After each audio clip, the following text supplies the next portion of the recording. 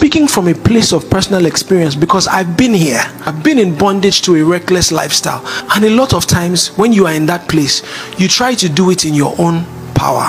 And you say, I'm not going to do this again. I'm going to break free. And then you just find that somehow, eventually, you slip up again. For me, that's the key.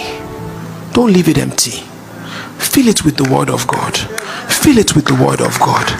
Fill it with the Word of God. Your life depends on this. When the Spirit comes back, because He will come, let Him meet a resistance. Let Him meet the house full, filled with purpose, filled with the Word of God, filled with life. And that's the way, that's the key to freedom.